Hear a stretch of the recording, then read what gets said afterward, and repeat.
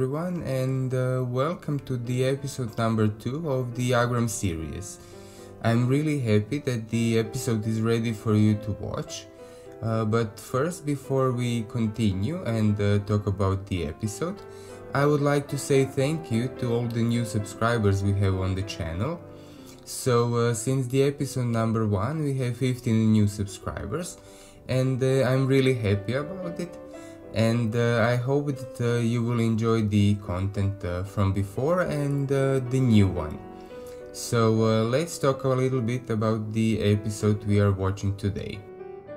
And uh, today the focus of the building area will be the parks that are in front of the train station that I mentioned in the previous episode and I was thinking that uh, it could tie in together very nicely and that uh, it could flow into this episode uh, also uh, in a good way because um, it's uh, very near and uh, in front of the train station.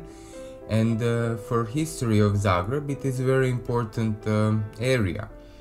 For me I really like it and I wanted to show it to you and recreate it into the Agram city of course, uh, one also thing that uh, I recently discovered was these little recordings that uh, people would usually put of the real life locations and uh, I really didn't know what they are until I uh, researched a little bit and found out that Google Earth actually has a Google Studio where you can program the camera movement easily and make those little recordings that you are watching now. I think they are very good to show how the city looks uh, and uh, show real life locations. What are you using for the, you know, uh, inspiration and uh, recreation in your own cities?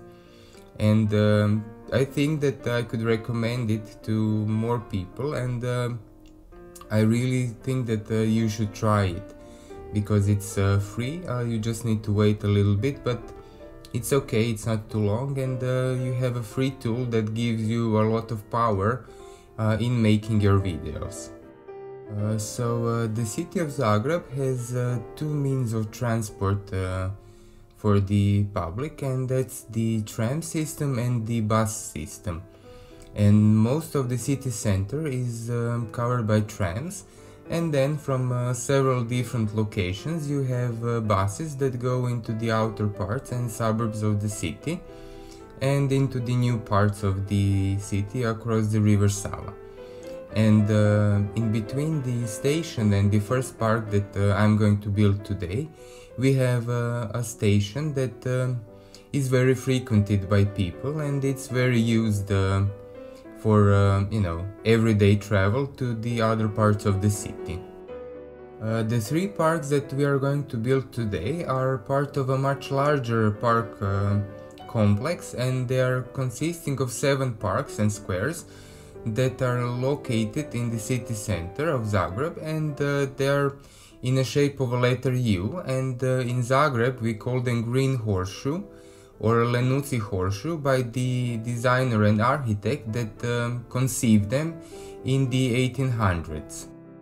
The parks have been uh, designed between 1883 and 1887 and at that time when today's uh, Donji Grad or the lower city was formed, uh, it was actually the outskirts of the Zagreb. Uh, the construction was helped by the efforts to rebuild the city after the 1880s uh, Zagreb earthquake, and in 1889 the entire horseshoe was finished, and uh, its two ends were connected by the newly built uh, Zagreb Botanical Garden. Uh, that I most probably am going to build in some of the next episodes. the spark system, as I said, consists of seven squares aligned in three straight lines. Out of the seven parks that I mentioned, uh, today's focus is on the three and they are called, uh, the first one that we are going to build is uh, Trg of the King Tomislav. Uh, the second one is uh, Juraj and the third park is uh, Park Zrinjevac. Uh, that is the last one that I'm building in this episode and in the cinematic part you will hear the song uh, that is dedicated to exactly that park, Park Zrinjevac. But uh, let's talk a little bit about uh, King Tomislav Square, and that is an important square for me and uh, for Zagreb because in the summer months you have a musical stage where you can hear a lot of uh, opera and uh, other kinds of performances. And in the winter months we have the ice skating ring that, uh, as I mentioned also, a lot of tourists like to visit and, you know, people of Zagreb as well. Uh, the park itself is a little bit lower than the rest of the streets uh, surrounding it and it's nicely lined with trees and it has a lot of benches where you can sit and relax and uh, because it is lower than the street level it is much nicer to enjoy the relaxing time in it. And uh, if you are an art lover you can also visit the art pavilion that is located in the beginning of the park and enjoy the nice paintings that are held inside.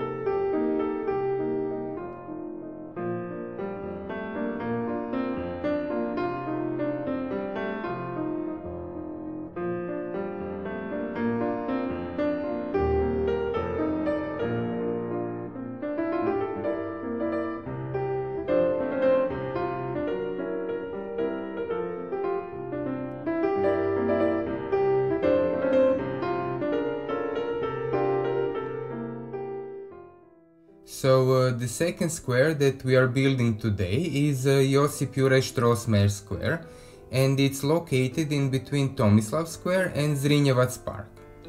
Uh, Josip Juraj Strossmayer was a Roman Catholic bishop, Croatian politician and benefactor born in Osijek in 1815. And even though he was a supporter of Habsburg monarchy, he nevertheless strove to obtain the more rights for the Slavs within the monarchy. He advocated federalization, merging of all Croatian lands under the King of Hungary, as well as introduction of Croatian language into the administration and schools. The Bishop Juraj Strossmayer had uh, one of the leading roles in the cultural life of country, in founding of Yugoslavia Academy of Science and Arts, today called Croatian Academy of Science and Arts, HAZU for short, and in the re-establishment of the University of Zagreb. The Academy Palace, built in Neo-Renaissance style, is uh, 1880s, uh, towers behind the statue. Though his uh, Catholic diplomacy, Strossmayer advocated the union of all Slavic, uh, South Slavic peoples and promoted religious unification. In 1849, the Emperor Franz Joseph proclaimed him Bishop of Bosnia and Sirmia with seat in Đakovo.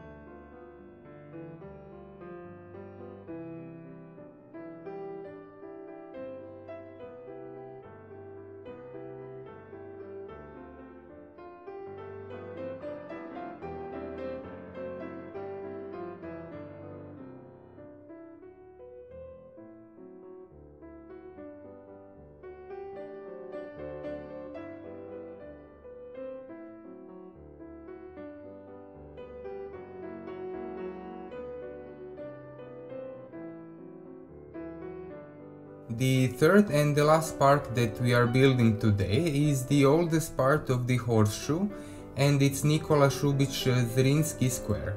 It was formed in 1826 under the name Novi Trg, uh, the new square, as the new home for the livestock marketplace formerly held on today's Banja Jelačić Square. In the 1860s it was decided that the square would be repurposed as a park and throughout the following decades the marketplace and the fairs were gradually moved to the area of today's Republic of Croatia Square. On western end of the horseshoe to be, which was entitled Sajmište, Old Trade Fair. Toward the end of the century, many new palaces in neo-Renaissance style were built on Zrinski Square. The square was also decorated by busts of numerous famous Croats as well as the meteorological pole in 1884 and the mu music pavilion in 1891. Unfortunately, I couldn't find anything closely resembled to meteorological pole for now, so I didn't place it in this build, but maybe in the future I will add it in. In 1880, a devastating earthquake hit Zagreb.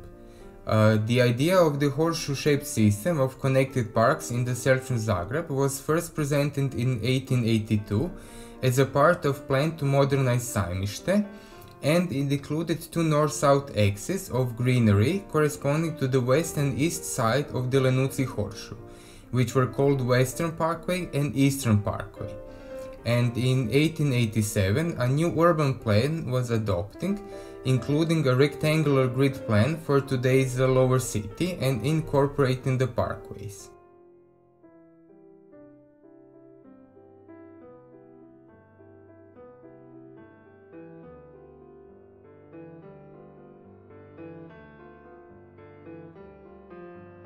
And uh, before I let you watch and enjoy the music before the end of uh, the episode and the cinematics, I would like to say several words about the song I decided to put today, and it is 1960s Ivo Robić song Jesen na Zrinjevcu, uh, fall on the Zrinjevac, and uh, even though I didn't build in the fall uh, time period, I still wanted to include this song because it's a very nice uh, representation of that period music.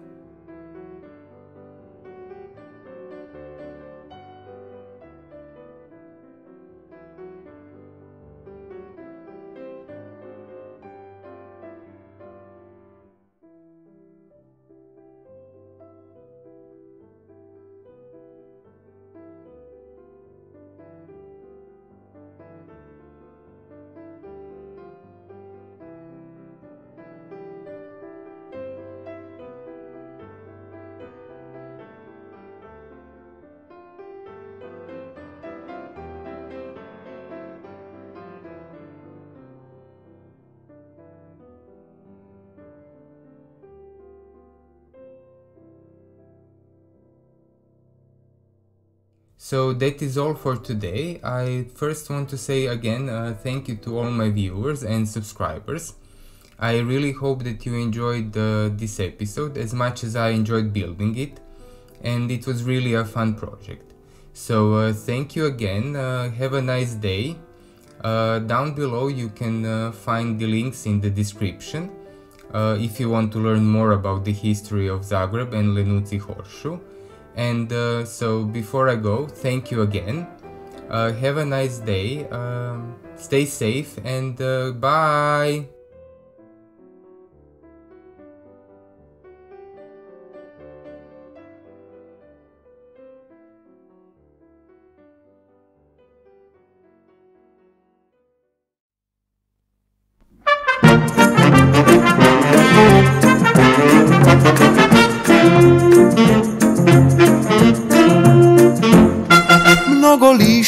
Mnogo šetača, mnogo boja kad jesen korača, priča kiše u krošnji platane, to je Zrinjevac sveo i drag, to je Zrinjevac jesenje noći, to je Zrinjevac drugu samoći, vele sajam buketa i vaza, to je njegova večer i dan, a nedjelje svjetla odjela, čuvari ne čuvajte park, nek bude što više veselja, dok potonu ruže u mrak.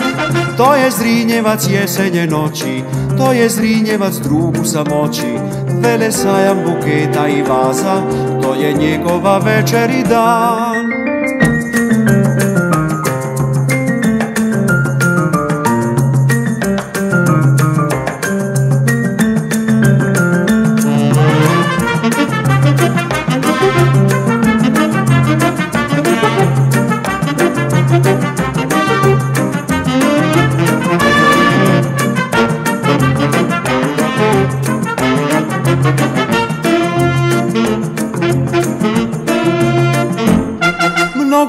Lišća i mnogo šetača, mnogo boja kad jesen korača, priča kiše u krošnji platane, to je Zrinjevac sveo i drag, to je Zrinjevac jesenje noći, to je Zrinjevac drugu samoći, vele sajam buketa i vaza, to je njegova večer i dan, a nedjelje svjetla odjela, čuvari ne čuvajte park, nek bude što više veselja, dok potonu ruže u mrak.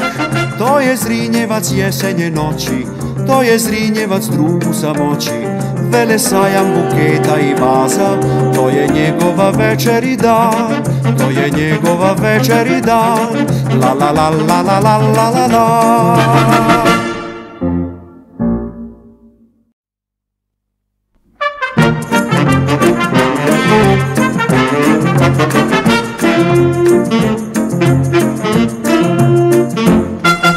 Mnogo lišća i mnogo šetača, mnogo boja kad jesen korača, priča kiše u krošnji platane, to je Zrinjevac sveo i drag, to je Zrinjevac jesenje noći, to je Zrinjevac drugu samoći, vele sajam buketa i vaza, to je njegova večer i dan, a nedjelje svjetla odjela, čuvari ne čuvajte park, nek bude što više veselja, dok potonu ruže u mrak.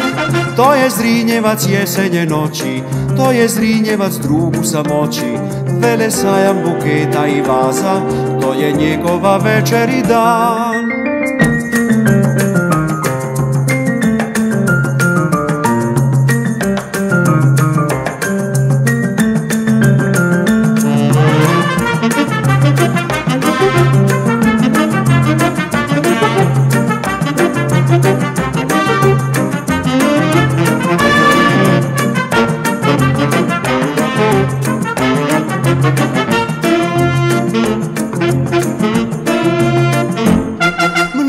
Lišća i mnogo šetača, mnogo boja kad jesen korača, priča kiše u krošnji platane, to je Zrinjevac sveo i drag, to je Zrinjevac jesenje noći, to je Zrinjevac drugu samoći, vele sajam buketa i vaza, to je njegova večer i dan, a nedjelje svjetla odjela.